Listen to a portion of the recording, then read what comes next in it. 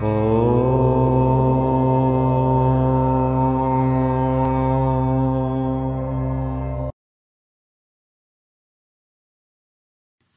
everybody. In this video, we will take you through the largest Lord Vishnu statue in Nepal. Buddha Nilakanta temple is situated in Kathmandu, the capital city of our neighboring country, Nepal. This temple is situated below the Shivapuri hills in the northern part of Kathmandu. It is the only open air temple in entire Nepal. It shows Lord Vishnu reclining on a bed of nagas or serpents in the middle of a small pond. The huge beautiful statue is 5 meters long, made out of single black basalt stone, dates back to Lichavi period. The Lichavis ruled the valley before being ousted by the Malla dynasty, who in turn were conquered by King Prithvi Narayan Shah, used to call this statue as Jalakshayan Narayan. The statue depicts the deity reclining on the cosmic serpent Adishesha with 11 heads. Vishnu's legs are crossed and the 11 heads of Shesha cradle his head. Deity's four hands hold a chakra, lotus, flower, and the club. Coming to the origin of this statue, as per various sources available on internet, this statue was sculpted and brought here during the 7th century by the then monarch Vishnugupta Chandraditya. Vishnugupta controlled the Kathmandu valley under the reign of Lichavi king Bhimarjun Dev. However, as per Swami Nigamananda Maharaj, Mathadish of Buddha Nilakanta temple, the origin of this statue goes like this. In Dwapara Yuga, there used to be a king called Suryaketu. He was ruling this area which was named as Shivapuri. He was very spiritual in nature. He used to visit Kedarnath and Badrinath every day and worship Lord Shiva. As time passed away, he grew older and prayed Lord that he cannot continue to visit the temple every day to worship him and would like to sacrifice his life. God was pleased with his devotion and told him that you don't have to come to see me every day. Instead, you will find me in your place. Raja was pleased and requested Vishwakarma to carve a statue from a huge basalt rock. Vishwakarma carved the statue in no time. Bhimasena, one of the brothers of Pandavas, was invited to establish the statue. On looking at the completed statue, Raja was displeased as it was not the statue of Lord Badrinath or Kedarnath. He thought that this statue was made to disrupt his devotion and started scolding the god. With this nature of the king, God got angry and cursed him that none of your descendants should visit and take my blessings. At the end of Dwapara Yuga, entire earth was immersed in the water, including the valley. In Kali Yuga, slowly human inhabitation started in the valley. The place where the statue was buried under the ground used to yield high productivity of paddy and other seasonal crops. Nobody knows why this land was so fertile. A time came when a farmer got very curious about that special spot and began digging the ground. He found blood oozing out from that place. The news spread everywhere and a huge crowd was formed and started digging around that spot. Then it revealed the divinity of the god and this statue emerged out of the ground. The farmer begged the Lord to forgive his mistake as it was done with ignorance. Lord Vishnu blessed him and gave him a boon that from today onwards I will be known by your name. The farmer's name was Nilakanta, and because he was old, Lord Vishnu became popular as Buddha Nilakanta or Vritta Nilakanta. Unlike other temples, this temple has no roof.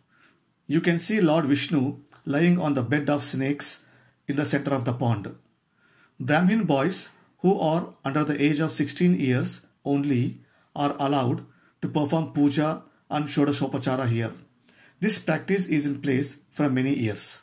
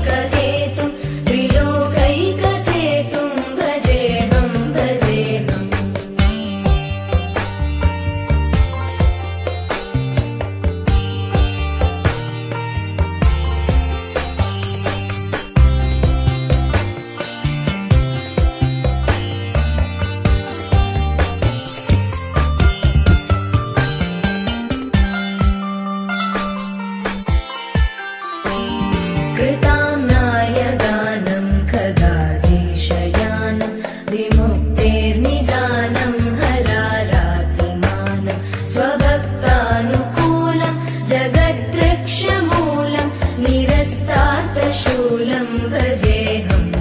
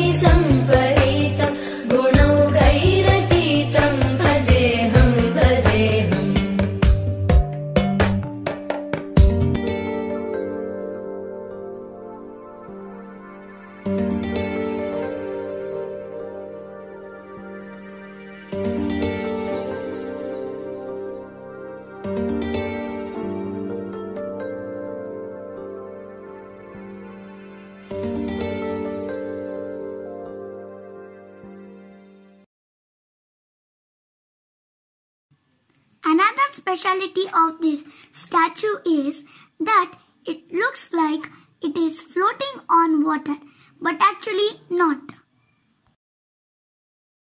The statue stands 5 meters tall in the middle of the pool which is 13 meters long. The Buddha Nilakanta temple is visited by thousands of pilgrims especially on Haribondini Ekadashi Mela which is on the 11th day of Hindu month of Kartika Masam generally falls between October and November every year. It is the temple's principal festival in celebration of awakening Lord Vishnu from his long sleep.